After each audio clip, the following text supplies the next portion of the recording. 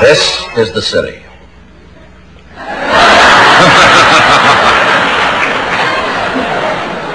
Los Angeles, California.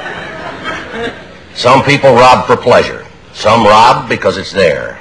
You never know. My name's Friday. I'm a cop. I was working the day watch out of robbery when I got a call from the Acme School Bell Company. There'd been a robbery.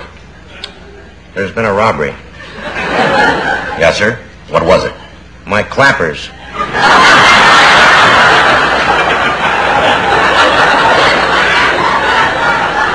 Your clappers. Yeah, you know those things inside a bell that makes them clang? The clangers. That's right, we call them clappers in the business. A clapper caper. What's that? Nothing, sir. Now, can I have the facts? What kind of clappers were stolen on this caper? They were copper clappers And where were they kept? in the closet. Uh-huh. You have any ideas who might have taken the copper clappers from the closet? Well, just one. I fired a man. He swore he'd get even. What was his name? Claude Cooper. You think That, he... that's right. I think Claude Cooper copped my copper clappers.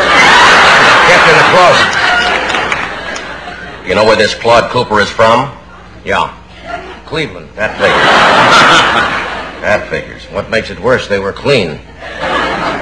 Clean copper clappers. That's right. Why do you think Cleveland's Claude Cooper would cop your clean copper clappers kept in your closet?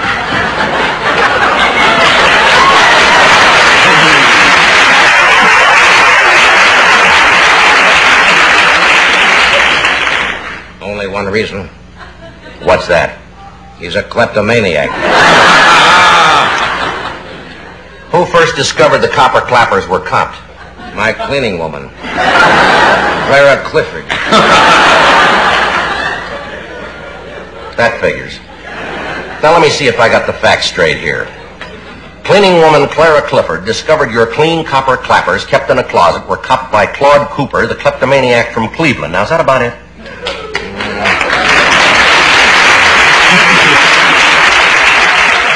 One other thing. What's that? If I ever catch kleptomaniac Claude Cooper from Cleveland who copped my clean copper clappers from kept in the closet, Yes? I'll clobber him.